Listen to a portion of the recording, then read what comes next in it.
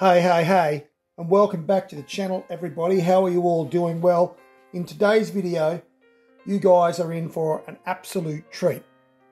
A few days ago, I was contacted uh, on YouTube in a comment by a fellow who saw uh, one of my porting videos and he left a very encouraging comment uh, to me regarding um, the way I was going about doing this port. You know, that, uh, yep, do it your way, do it low buck, and what I'm doing is going to get me some pretty good gains. Then he uh, went on to leave another comment outlining um, some basic combustion chamber chamfer mods that could be done on these particular cylinder heads, the Aussie closed chamber 2V302 cast iron factory cylinder heads on deshrouding valves the cylinder head. So before we go any further, because this guy has gone above and beyond since uh, those comments, I've now connected with him on Messenger and because um, I asked him to uh, look me up on Facebook because I wanted to talk to him more about these mods. Um, and he very generously uh, contacted me. This is how much of a legend this guy is, right? This guy has worked in this industry, guys, for 20 years. He's worked on uh, old American cylinder heads, Australian Ford stuff, Holden, some six-cylinder stuff. He's even worked on Chrysler stuff. He's had his own business doing this for 20 years. And this morning, uh, he went out to his workshop. He's got a set of these 302 cylinder heads that he's about to port. He painted them up in yellow as he does um, to set, up, set these up for deshrouding. And he took uh, basically 30 pictures. He, he, did the work this morning um, and took pictures of each uh, element of the work that's done to deshroud. Particularly, um, this is specific to this Aussie 302 cylinder head. And he went through the process of what he does to de-shroud the valves in uh, the 302 heads uh, with a picture by picture um, uh, basis, okay? Showing me some simple tools that uh, anyone watching this video is going to have lying around in their workshop that you can use to basically help you uh, do a really good deshrouding job on these cylinder heads, which will give you uh, marked improvement on flow and give you some detonation resistance um, with these heads because these are pretty, pretty famous for being pretty bad with detonation, okay? Now, Initially, when I uh, was talking to him and looking through the pictures, I started to feel a little bit nervous because, um, you know, I've never done this sort of mod. The, the last set of heads that I ported, um, I've only ported one set of heads previous, as I've already mentioned in my other videos. I have never done this type of modification to the combustion chambers. I've simply done what I did uh, that I've already shown in the previous videos without doing any major chamfering. Even though I've seen um, uh, this chamfer stuff on forums before, um, and it is something that is done. I mean, these are reasonably generic um, shaped um, combustion chamber for a lot of cylinder heads. So it's you know this is done on uh, other cylinder heads other than just these 302 Ford uh, cylinder heads.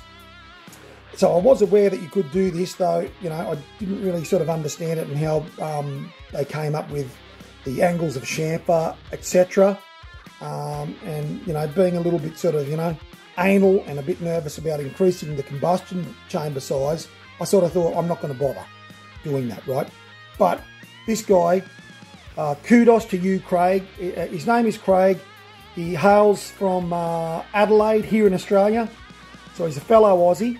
And what he did this morning, going out and spending the time to do that, documented in, in pictures and show step by step how to work this out is just next level. I mean, you know, he, he took the risk of sharing that with me uh, and then me coming on my channel and basically making out that, you know, this is all my idea. I wouldn't have had a clue how to do this uh, without someone like him who's done this many, many times and knows what he's doing, uh, sharing that information with me and now with my viewers. So I can't thank you enough, Craig. Thank you so much, mate, for sharing that info. I'm going to go through uh, all of Craig's pictures that he sent me this morning. There's 30 of them in total with all the steps um, that he uh, uses to basically work out where the chamfering, etc., needs to happen um, on these heads to guard against detonation and also to drastically improve your flow. Craig says that this mod alone can uh, net you um, big power gains and, and flow gains, um, even if you weren't to do some of the, the other work. Well, I've done the other work, I'm going to do the other work. With this mod, I'm going to get a really, really good uh, result. If I can do it, it might give uh, anyone else watching the videos the confidence to have a crack at doing this as well. I'm definitely going to do this because it's going to be the next step in uh, my experience with porting these cylinder heads uh, compared to my last port where I didn't do any of this work. Let's have a look at Craig's pics and go through uh, how we work out and where we're going to de-shroud these valves in the Aussie 2V closed chamber cylinder head. Now, something very, very important for me to point out, and Chris asked that I would actually stress this. You need to keep in mind that he really put this together very quickly for me this morning. Just came out basically and started uh, running his uh, carbide cutter around the combustion chamber here for the purposes of me using this in the video who does that? I mean, what a top guy. But he wanted me to emphasize that after this is done, and this is fairly rough because of the, um, uh, you know, it was it was done in a hurry. But this always gets smoothed basically after the carbide burr is used. He will then spend uh, the time needed to basically then with a stone smooth everything that's been cut with the chamfer so it's all really smoothed along with uh, the rest of the combustion chamber inside similar to what I did basically in uh, my first video on how I smooth all the castings and and those lips and stuff from the machine surface when the, when the valve seats are put in. So just keep that in mind guys. All of this uh, is normally smoothed with a stone after all the basic cutting and deshrouding is finished with the carbide burr. So the way Craig goes about this is first he paints up his cylinder head so then when he puts his head gaskets on he can scribe uh, where his head gasket opening is around the combustion chamber without actually obviously scratching into the cylinder head surface. You don't want to do that, otherwise then you'll be milling uh, your cylinder head. So this is how he starts, just with a light coat of uh, yellow paint is what he uses for visibility. And here you can see uh, the scribe mark around the uh, head gasket opening. And this gives you uh, basically where your tolerances are uh, and the amount of material you have to, to deshroud the valves back to. You don't want to exceed this. Now Chris is showing me here basically what to use as simple tools to find our chamfer angle and how to set up our chamfer angles, uh, how to get our, our, our valves at the right height and stuff like that to work out our chamfer angles. Everyday stuff that you'll be able to find in your tool shed. For example, here we have a carburetor rod ball, okay? The main thing is that these things, the Allen key and uh, a ball, even if it's a ball bearing welded to like a little stem or something, they must be a quarter inch in size. So with the Allen key under the valve and flat on the face of the cylinder head, you're going to use that little quarter inch ball to run around the valve and where you find the ball will not fit in between the seat and the valve like this, you'll know that you will need to shroud that area but not exceed where you have marked your head gaskets. Okay, and you can basically keep moving that ball around the valve and where you find that it doesn't fit in between the uh, opening of the valve and the cylinder head face, you need to mark that and that's where you will begin your deshrouding process. In these areas where your quarter inch ball will not fit in between the face of the head and the valve opening. You can see here where Chris has determined the two points of reference that the shroud is, is going to have to take place between. And it's these points of reference uh, around your combustion chamber that you are trying to determine where deshrouding has to be done. This is a pic showing just how bad the shrouding is on the exhaust valve. We can't fix this properly, and we wouldn't spend the time trying to fix this. Um, otherwise, it's going to turn this into a very long process indeed. We're going to do the quick stuff uh, that we uh, can do for the limitations that these heads have from their factory design. But this is just showing uh, what the limitations are and what we can actually do and can't do in these uh, factory combustion chambers.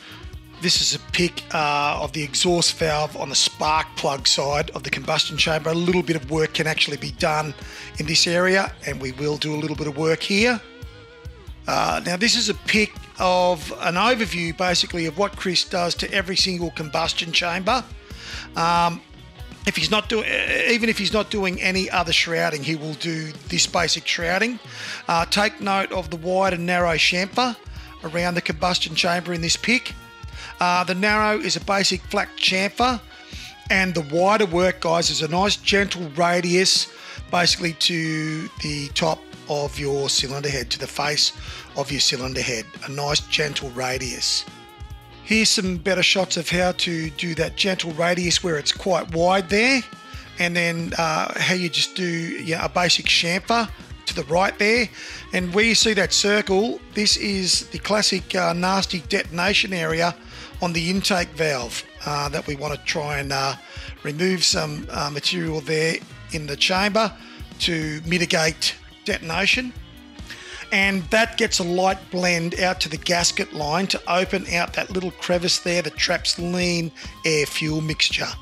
And you've got to keep in mind that um, this means that you are going to be able to uh, increase your timing if you can, uh, you know, do work like this. It's going to give you the ability to also, you know, advance your timing a bit, which will pick up power where you might lose a bit of power.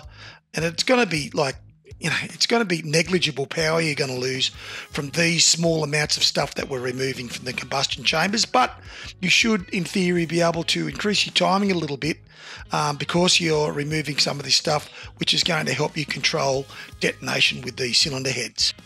So check out uh, these pics now, guys, of uh, basically what Craig did this morning. And uh, do not hesitate in the comments to say a big thanks to Craig from Adelaide for providing this information to uh, all of us Aussie 2V302 cylinder head owners.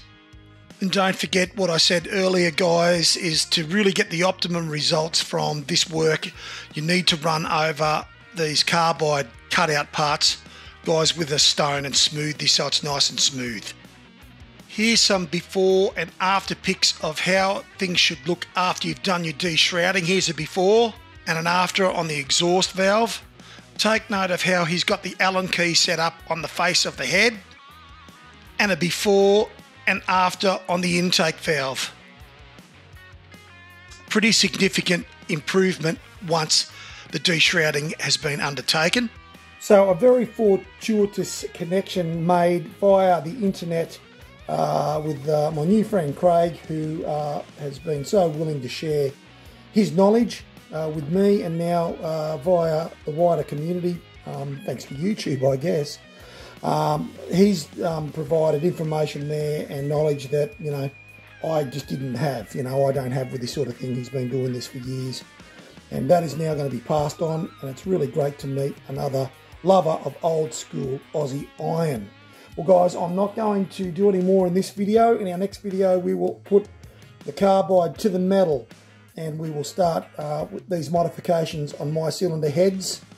And until I see you guys in the next video where we start doing this, you guys stay safe, stay healthy, and take it easy out there.